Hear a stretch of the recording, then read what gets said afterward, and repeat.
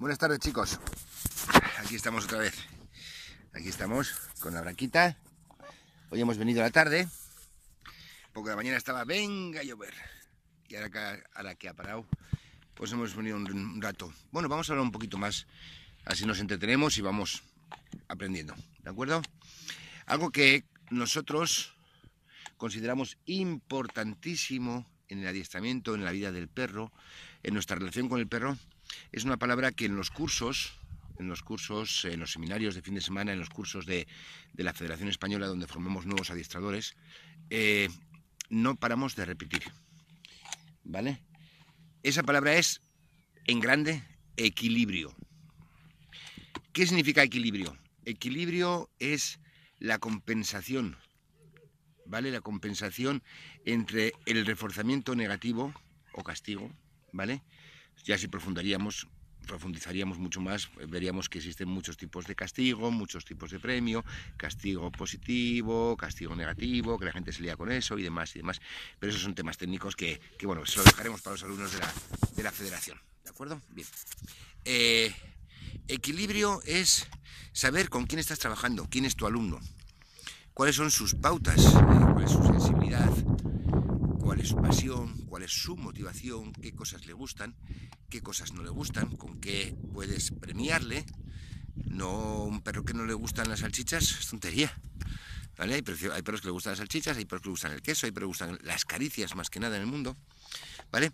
Hay otros perros, bueno, pues hablando de reforzamiento negativo, hay, perros que reaccionan perfectamente a un pequeño tironcito, otros a la voz, otros a, un, reforzamiento negativo físico, otro a, al, collar de impulsos eléctricos, ¿vale? Otros simplemente con un pequeño gesto, ¿vale? Esto significa que tienes que conocer muy bien, como la, obligación de cualquier profesor, ya sea de, personitas, ya sea en la universidad, ya sea canino, ya sea lo que sea, es conocer a tu alumno para saber qué metodología es la que hay que utilizar.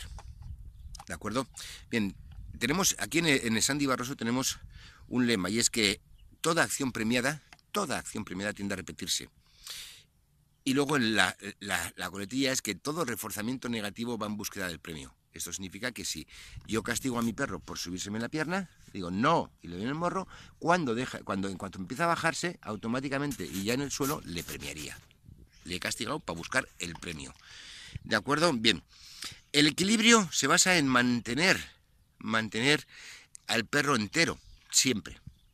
Entero, vital, que, que, que, que no, que no pierda no pierda nada, absolutamente nada, nada de pasión, todo lo contrario, ¿vale? Nada de pasión, algunos dicen distancia, nada de distancia, que no pierda nada, nada, nada, nada, nada en el adiestramiento, nada. Todo sea sumar. Y eso nada más se consigue con equilibrio. Y el equilibrio, vuelvo a repetirme para que quede claro, ¿vale? Es muy simple. Primero, saber cómo es tu alumno, saber qué sensibilidades tiene, saber qué le motiva, saber qué, cuál es el reforzamiento negativo adecuado y adaptado totalmente para él, ¿de acuerdo? Y mantener siempre ese equilibrio con el premio y las motivaciones. ¿De acuerdo? De esta manera nunca, nunca, nunca, ¿eh?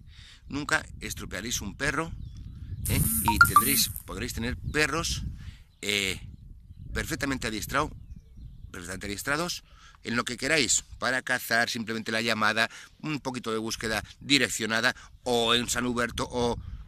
y felices. Los perros que, por ejemplo, en competición que ganan, tienen que tener algo, ¿vale? Ese don que decía, que decía Felipe, creo que era, esa capacidad de concentración, que también decía yo, ¿vale? Ese algo que decimos todos, ¿vale? Pero luego tiene que tener un adiestramiento muy bueno, Vale, pero un adiestramiento, un adiestramiento agresivo, abrasivo, un adiestramiento sin equilibrio, eh, va a hacer que ese perro esté cohibido.